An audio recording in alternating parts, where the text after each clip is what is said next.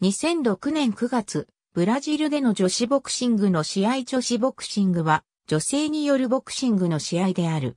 ボクシングは古くから男性の競技としてみなされていたが、女子ボクシングも長い歴史の中で形作られている。女子ボクシングに関する世界最古の記録は、イギリス・ロンドンでの試合について書かれており、これによると1722年に、オックスフォードサーカス付近の宿屋で、エリザベス・ウィルキンソンがマーサ・ジョーンズに勝利し、コックニー王者となっている。女子ボクシングは英国では1880年に禁止されたが、完全に消滅することはなかった。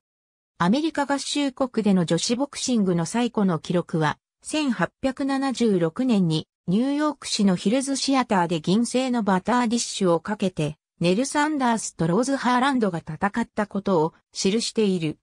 1904年セントルイスオリンピックでは公開競技として女子の試合も行われていた。しかしながら長らく女子ボクシングは禁止された。1952年にイギリス出身のバーバラ・バトリックが米国へ渡り女子、プロボクサーとして活躍。1988年にスウェーデンで女子アマチュアボクシングが認定された。1990年にバトリックにより女子国際ボクシング連盟が設立されて、移行女子世界王座認定団体が次々と作られたが、21世紀に入ると WBC、WBA など男子の団体でも女子の王座が設けられるようになった。2001年には国際アマチュアボクシング協会による世界女子ボクシング選手権大会が開催され、2012年ロンドンオリンピック以降の採用も確定した。歴史日本では、大正時代に女優、砂田駒子が夫、フランク徳永と共に日本剣闘クラブでトレーニングしたのが最初とも言われている。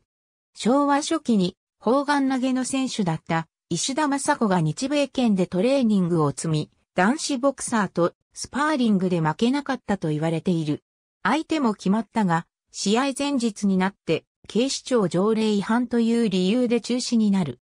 1950年11月に広島で石倉節子対菅間和子が女性同士として初の試合として公開され、翌1951年1月にも二人は日比谷公会堂で対戦したが引き分けに終わった。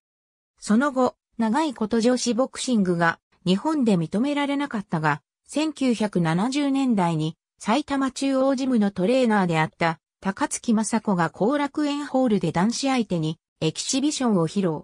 アメリカにも渡り、日本人プロ第1号としてリングに上がっていた。帰国後もキックボクシングのリングで試合を行っていた。当時は全日本女子格闘技連盟が全日本女子プロボクシング王座の名でタイトルを創設し、構築もタイトルを獲得している。また、その頃には三佐正宏によってボクササイズが考案され、1990年代に入ると一躍ブームとなるが、その延長線上として本格的にボクシングを始めたい女性が増え、1996年に第1回全日本女子アマチュアボクシング大会が開催される。一方、当時マーシャルアーツ日本キックボクシング連盟理事長だった山木俊弘がキックボクシングの女子部門は存在するのに女子ボクシングがないことに疑問を持ち、女子ボクサーの育成に着手。キックからの転校組が中心となりマーシャルアーツ、日本キックボクシング連盟工業内に挿入する形で女子ボクシングの試合が行われる。1997年にはその一人であるシュガー、ミユキが日本人初の世界タイトルを獲得し話題となる。1999年には日本女子ボクシング協会が結成され、初の女子ボクシング工業が行われる。一時は150人以上の女子ボクサーが所属していた。日本女子王者も次々と誕生した。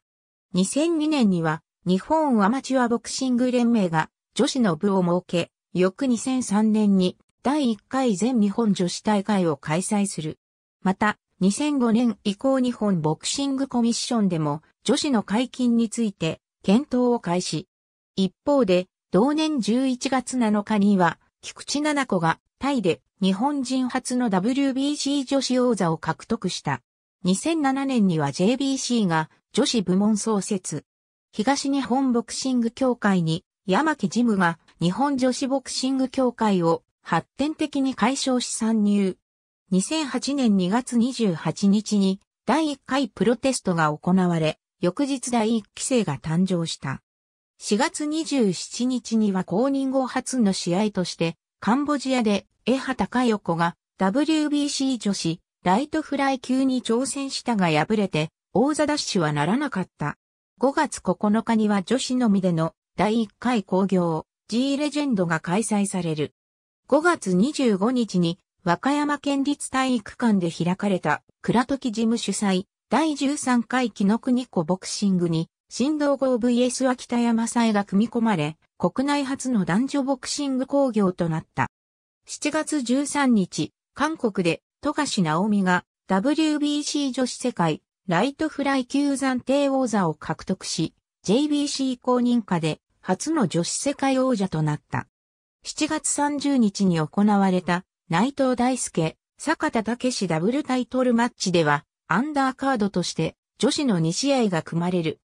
8月11日、風神雷下、尾関桃ダブルタイトルマッチとして公認後初の国内での世界タイトルマッチが組まれ、尾関が WBC 女子世界アトム級王座を奪取した。同年、世界女子選手権に日本から初めて7人の選手を派遣。美濃は綾子のベスト8が最高であった。2009年2月、東洋太平洋ボクシング連盟が初の女子ランキングを発表。日本の選手は18人がランク入りし、うち5人が各階級1位となった。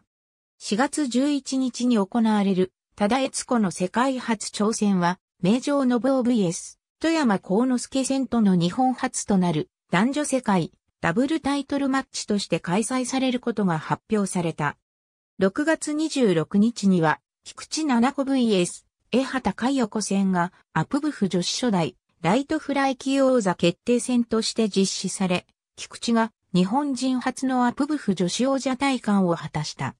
同年のアジア室内大会では、フェザー級で水野千里が銅メダルを獲得し、日本女子ボクシング初の国際大会メダリストとなった。2012年ロンドンオリンピックより女子ボクシングが加わるのに伴い本格強化を開始。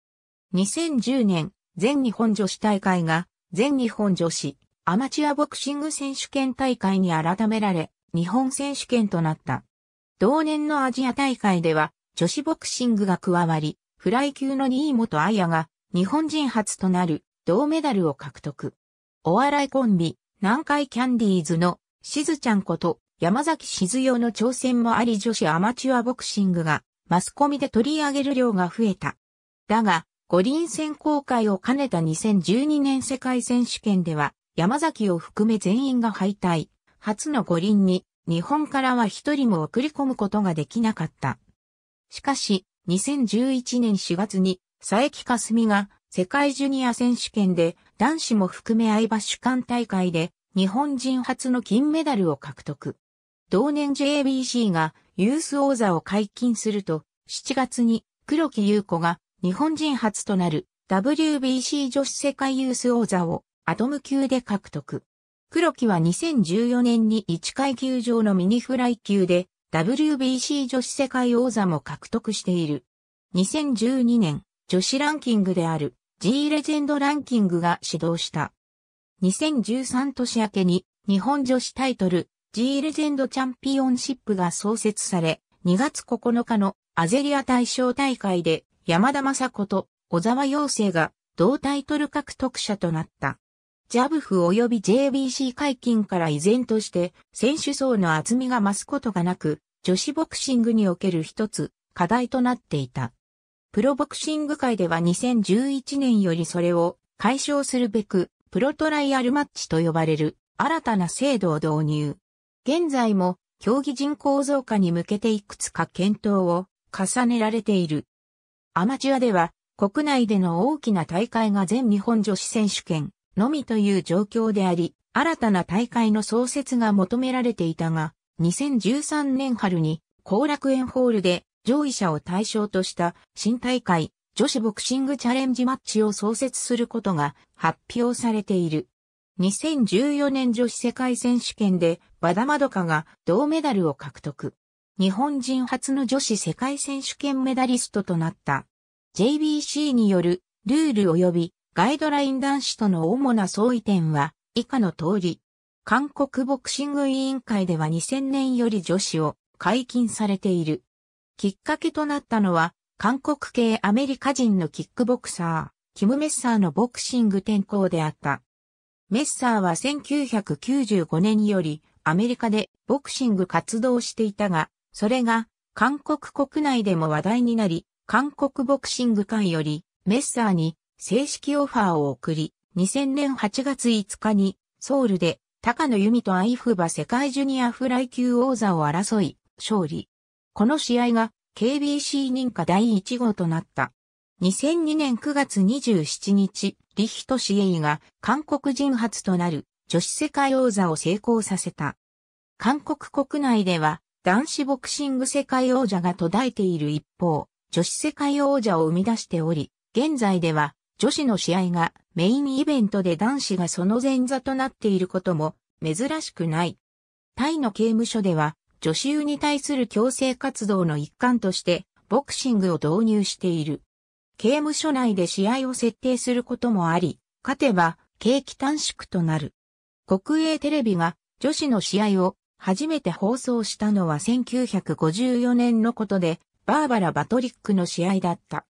女子ボクシングへの関心は、ウーマンリブの流星とともに1970年代に勢いを増し、1975年1月にエヴァ社員がプロボクシングの試合を裁く審判として文書化されたライセンスを米国で初めて取得。同年、キャロライン・スベンセンが女子ボクサーとして初めて文書化されたライセンスを交付され、ネバダ州で4回戦を行った。パット・ピネダは1976年にカリフォルニア州で初めてライセンスを交付され、1978年にはキャシー・デイビス、ジャッキー・トナーンダ、マリアン・トリミアーがニューヨーク州でライセンスを取得した。トナワンダはマディソン・スクエア・ガーデンでボクシングをした最初の女子選手として1975年のエキシビションマッチで男子キックボクサーをノックアウトした。他にはバンタム級のサンディ・ペレスや女子ボクシング連盟に1980年にライトヘビー級王者として認定されたダイアン・クラークらがいた。しかし、法廷闘争の末に、ニューヨーク州最高裁判所の指示で、同州アスレチックコミッションが女子にプロボクサーライセンスを発行した時も、同州を拠点とする男子プロボクサーは、女子同士、または男子対女子の試合を歓迎しなかった。元ライト級世界王者のエステバン・デ・ヘススは、男子は女子にとって強すぎるし、女子が試合をすることは危険を伴うと言い、元ジュニアライト級世界王者のアルフレド・エスカレラも、これに同意し、女子選手はボクシングをすることが自分たちにとって良いことと信じているかもしれないが、女子対男子の試合は真の試合にはならないと話している。当時ヘビー級で無敗だったマイケル・ドークスは、ボクシングは女子にはあまりに荒々しく残忍であるとし、ボクシング参加は女子にとって前進ではなく交代だと述べている。フロイド・パターソンは現役を引退して、この時はライセンスを発行したニューヨーク州アスレチックコミッションの一員となっていた。しかしそのパターソンも自分は常に女性を尊重し、ウーマンリブを支持してきたけれども、リングの中では別だと話している。国内の他地域でも1970年代後半にはライセンスが認められ、女子のライセンス認可はヒューストンでのモハメド・アリの徴兵拒否以来の騒動となった。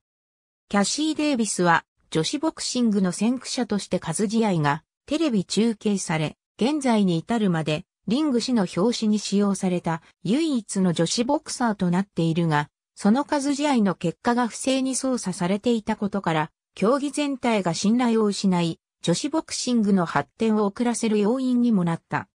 統括、認定団体、レフェリーやジャッジが正しく機能することの必要性が露呈し、またライセンス発行のプロセスにも正当性が求められた。1987年頃、マリアン・トルミアーは、女子がもっと認知されない限り、自分たちはただ目新しいものとして、戦うだけで未来がないとして、女子ボクシングの参上に注意を喚起するために、ハンガーストライキを行い、30ポンドを落とした。1990年代初め頃までには、状況は改善されていった。1980年代には、双子のドラットコラのウェバー姉妹が活躍。1993年には、米国ボクシング連盟が女性ボクサーを認定。女子ボクシング時代の幕開けとなる。1995年、ニューヨークゴールデングローブに日系人の D 浜口が女性として初出場。1997年には、米国連盟公認初の女子トーナメントが開催される。クリスティ・マーチンらの試合がビッグマッチのアンダーカードとして組まれ、次第に人気が高まる。1999年には、モハメド・アリの娘、レイラ・アリがデビュー。ジョー・フレイジャーの娘ジャッキー・フレイジャー・ライドとの対戦で、マスコミ報道が加熱し、この試合は10万件のペーパービューを売り上げた。2009年現在のファイトマネーは1ラウンドにつき、最低200ドルで、1試合の最高額は25万ドルだった。女子ボクシングが最も盛んな国の一つに挙げられ、国内では女子ボクシングを題材としたリアリティ番組、トダスコントラメヒコが放送されるほど人気が高い。ありがとうございます。